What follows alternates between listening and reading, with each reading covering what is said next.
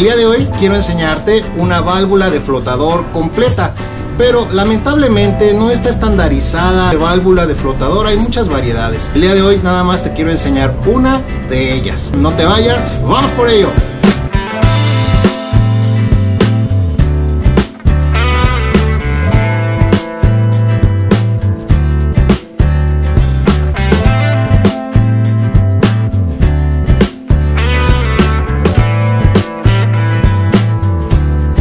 Válvulas que regulan el abrir y el cerrar el agua de un estanque se llaman válvulas de flotador. Esto es porque tienen un dispositivo que flota al nivel de la altura del agua. Cuando ya la altura del agua llegó al nivel que tú indicaste, hace que la válvula se cierre.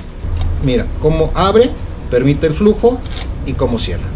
De esta forma es como se debe de instalar la válvula de manera horizontal. El flotador pues cae al no haber algún líquido que haga que lo eleve. Voy a presentarte una válvula de 2 pulgadas de diámetro. Ya es considerada industrial por el tipo de diámetro que es. Consta principalmente de dos piezas, lo que es la válvula y lo que es la boya, propiamente conocida como flotador. En el caso de una válvula de flotador industrial hay variedad en las varillas. Cambian de diámetro de acuerdo a la medida de la válvula de flotador en la que se va a instalar.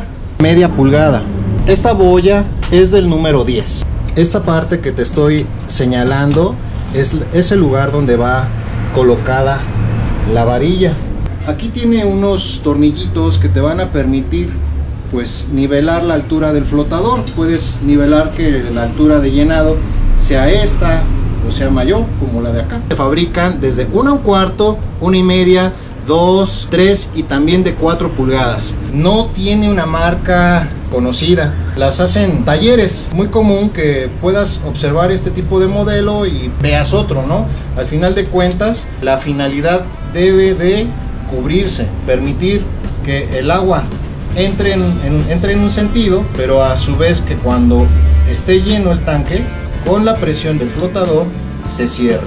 Nos vemos en la próxima. Te recuerdo nuestras redes sociales. Búscanos en Facebook, Twitter e Instagram. Soy José Valdés y es un placer estar aquí para ti. Manitas arriba.